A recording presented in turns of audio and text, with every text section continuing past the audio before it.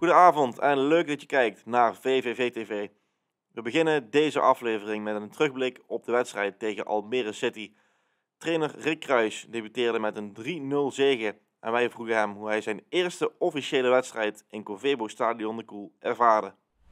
Erg mooi. Het was natuurlijk de eerste keer dat het uh, met een uh, competitiewedstrijd was. Hè. Ik ben natuurlijk tegen de Griekse ploeg uh, hebben we daar gespeeld, maar dit was de eerste officiële keer. En ik moet zeggen, ik was onder de indruk van de, van de, hele vibe in het stadion. Maar ook hoe we de tweede helft naar voren geschreeuwd werden en een extra zetje kregen vanuit de Duitse kant. Maar ik vond het gewoon een hele mooie avond. En ja, ik hoop dat ze het hele seizoen eigenlijk zo achter ons staan, want dat is wel iets wat ons wat extra's kan geven. Met de steun van het Venloze publiek begon VVV sterk aan het seizoen. En dus blik Kruis tevreden terug. Nou, met een goed gevoel. Uh, uitslag natuurlijk uitstekend. Uh, spel bij Vlagen heel erg goed. Dus uh, daar was ik wel blij mee. Ik denk eerst wel dat we veel controle hadden. Met name doordat we heel goed stonden zonder bal. We waren in staat om, om op het moment dat Almere de, de bal had goed georganiseerd te staan. Een paar keer heel goed druk te creëren. En daar vandaan een paar hele goede counters eh, plaatsen.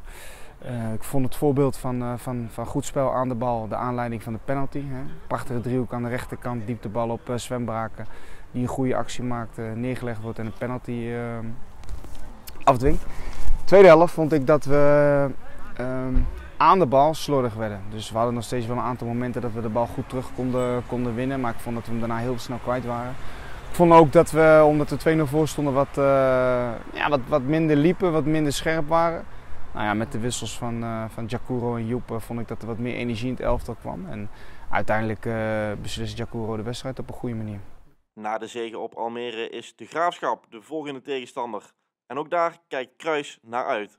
Nou, goede ploeg. Dat is natuurlijk ook een van de, van de ploegen die daar bovenin gaat spelen. Met een goede trainer, ook een, een vriend van me, Adrie Poldervaart. Ja. Dus ik heb uh, gekeken naar ze het weekend. Uh, was een, uh, daar lieten ze eigenlijk zien dat ze mee kunnen met, met PEC Zwolle. Mm -hmm. Nou ja, het is de eerste thuiswedstrijd. Dan weet je dat er bij de Graafschap een hoop mensen zitten. Dat ze waarschijnlijk een sfeeractie hebben. Ja, dus we moeten er klaar voor zijn. VVV is dus goed aan de competitie begonnen. En dat geldt zeker ook voor Kees de Boer. De middenvelder werd tegen Almere verkozen tot man of the match, mede dankzij zijn allereerste doelpunt. Ja, dit was mijn eerste ja, officiële goal in, in het betaalde voetbal inderdaad. En, uh, ja, ik, ik, ik, zocht er wel naar, vorig jaar een paar keer dichtbij geweest, maar uh, ja, toen mocht het niet zo zijn. En uh, dat ik hem dan nu gelijk in de eerste wedstrijd ja, binnen kan schieten is natuurlijk heerlijk voor mij en ook voor het team, want het was ja, een goede start natuurlijk. De boer is blij met zijn eerste doelpunt, maar ook op de wedstrijd zelf kijkt hij tevreden terug. Ja, ook met een, met een goed gevoel. Ik denk dat we een goede wedstrijd speelden, vooral de eerste helft. Uh, scoor je natuurlijk twee keer. En, maar over het algemeen, je geeft eigenlijk bijna niks weg over de hele wedstrijd. En je creëert best wel veel kansen zelf. Dus daar mogen we ja, wat tevreden mee zijn. Natuurlijk kan, kan en moet het beter. En, maar ja, daar kan je wel op, op voortbouwen. Genoeg goede punten om mee te nemen dus. En ook de boer ziet de sfeer in de koel als een van de grote pluspunten van vrijdag. Ja, het was natuurlijk top weer. Uh, volgens mij was, ja, het zat best wel vol achter de tribune op, op Oost. waar ze weer lekker aan het zingen en ons aan het aanmoedigen. Dus ja, dat geeft een heel goed gevoel als speler. En ja, vooral als het goed gaat, dan ja, krijg je gewoon nog wat energie om, ja, om ook de fans wat wat te geven wat we vorig jaar te weinig hebben gedaan.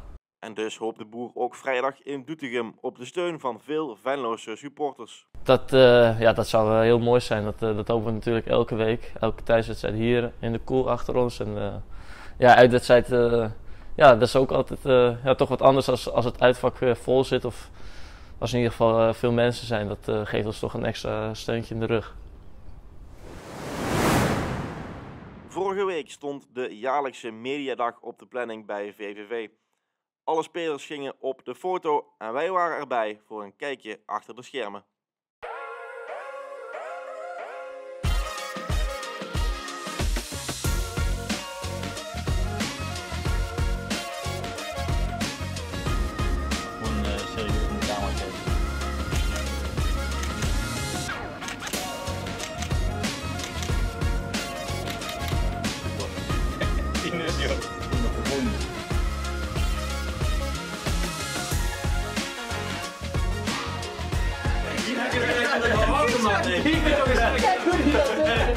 Weet je waar hij mij aangeeft? Zo.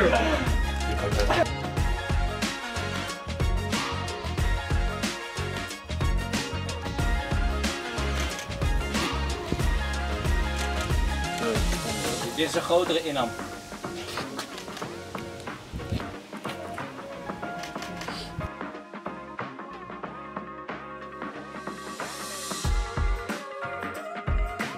Mitchell, echt een uh, Hollandse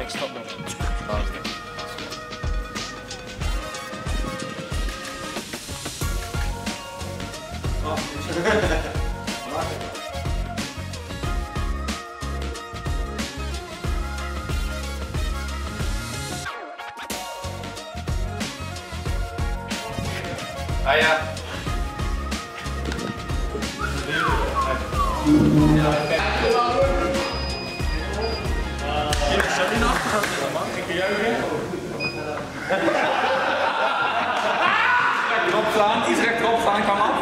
Gewoon iets van freestyle. Voor dat, had al nagedacht. Dan zeg ik dat kaartje zo niet in. 2, 1.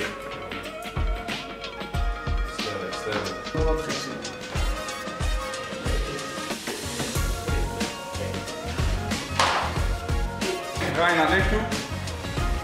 Ja. Ietsje terug, draai naar mij. Ja.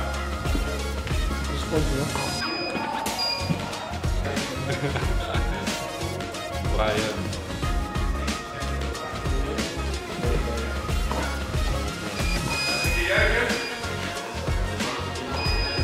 Twee, één.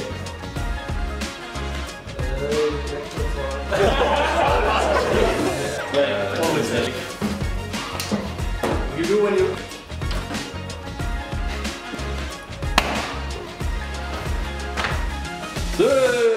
Top. We sluiten deze uitzending af met een korte terugblik op onze belactie. Afgelopen maandag kreeg iedereen die zijn seizoenkaart nog niet heeft verlengd een belletje van een speler van VVV. En dat was een groot succes.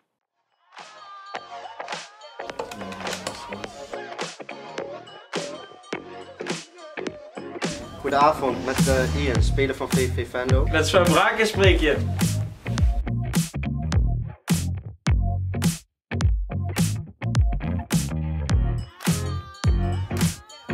Hoe meer ziel, hoe meer vreugde en uh, wij kunnen echt uh, iedere steun uh, gebruiken.